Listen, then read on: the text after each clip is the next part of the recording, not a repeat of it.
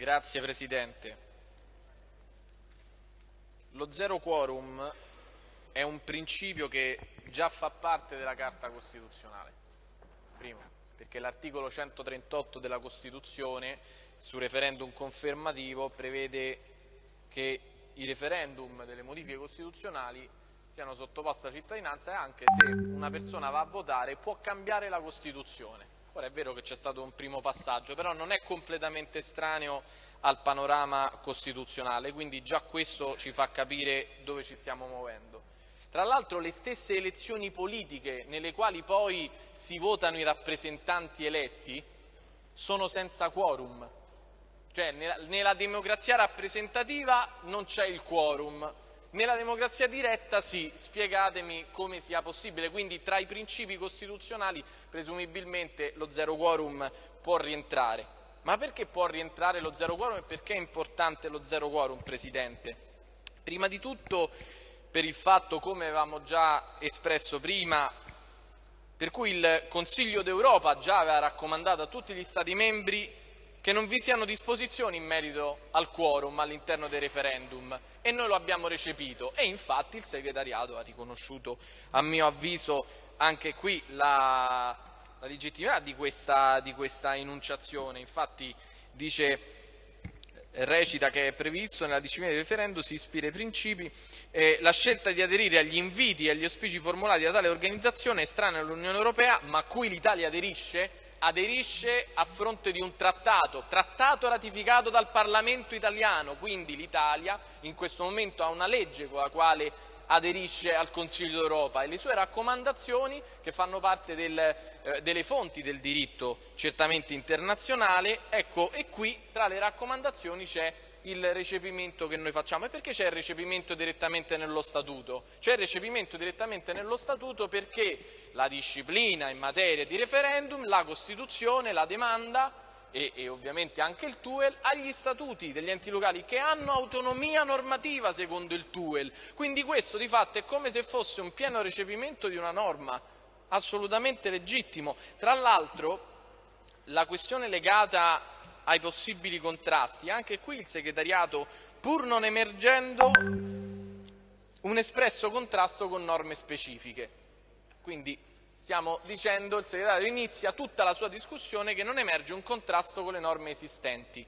Tra l'altro, in virtù delle osservazioni che sono state presentate, il Movimento 5 Stelle ha comunque per prudenza presentato degli emendamenti per riformulare alcune parti di testo, del testo che ha presentato proprio per uniformarsi alla volontà diciamo in questo senso e alle osservazioni espresse dagli uffici, proprio per conformarsi a quei pareri ex articolo 97, ex articolo 49 che sono stati espressi. Ma andiamo avanti.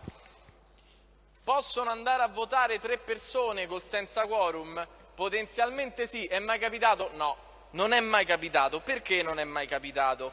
In Italia dal 1948 ad oggi la media dell'affluenza delle votazioni popolari con quorum è stata del 52,35%, mentre quelle senza quorum del 58,17%. Vuol dire che quando viene abolito il quorum sono più le persone che vanno a votare, non di meno. Quindi l'abolizione del quorum promuove la partecipazione, non va a ridurla, ma questo non lo dico io, lo dice il Ministero dell'Interno direttamente nei dati elettorali. Quindi anche questo fatto è sconfessato da dati che sono comunque pubblici.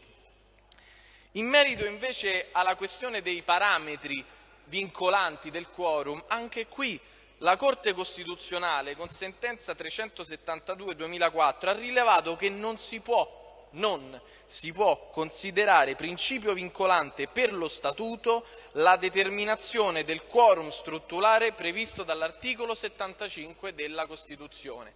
Cioè il quorum al 51% nei referendum non è un parametro costituzionale secondo noi e secondo la lettura che, che fa la Corte di questo. Però facciamo un passo indietro perché dobbiamo capire se effettivamente i referendum comunali sono importanti da un punto di vista dell'abolizione del quorum. E allora, per capire se la Costituzione effettivamente andava in questa direzione, nelle premesse delle delibere, tra l'altro voglio ringraziare i municipi che hanno fatto un lavoro egregio su questo, producendo anche questi elementi che fanno parte anche di molte proposte, va detto, di, di legge, di delibere, insomma, che già sono in giro nel, in questo momento. Ecco,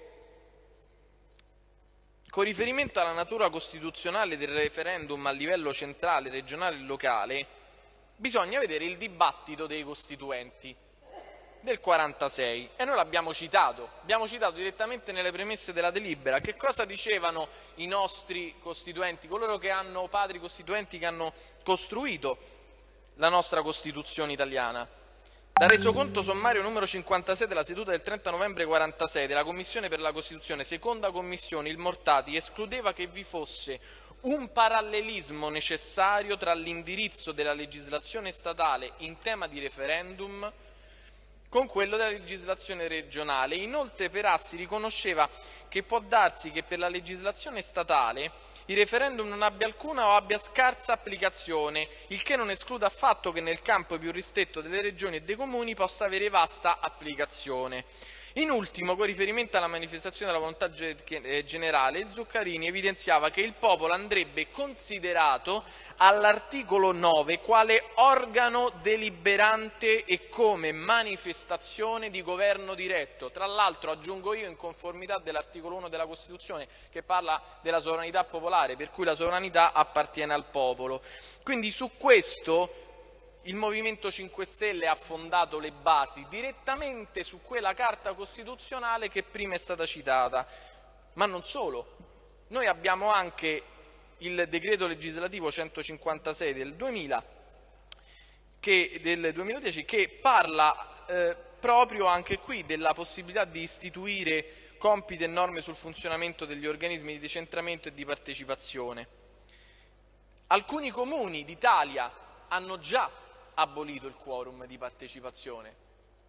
Già sono, non, non sono commissariati, sono lì, hanno abolito, hanno, stanno utilizzando serenamente questi strumenti. Tra l'altro nel parere del Ministero si parla proprio che anche sulla validità delle votazioni lo Statuto sia eh, autonomo. E anche su questo voglio dire, anche sulla controproposta, la controproposta è un elemento di dibattito, non è un elemento di andare a snaturare comunque la proposta della cittadinanza.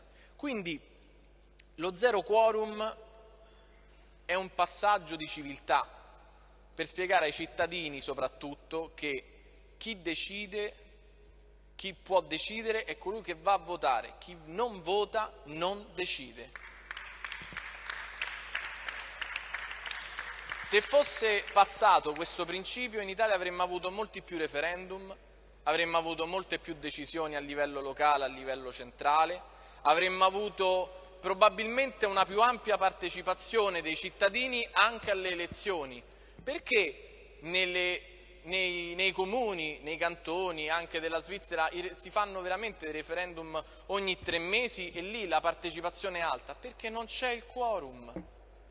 Perché il quorum diventa uno strumento di lotta politica per l'astensionismo, Invece è giusto che i cittadini tornino ad essere responsabili del loro futuro e non delegare semplicemente ai rappresentanti del popolo attraverso un programma.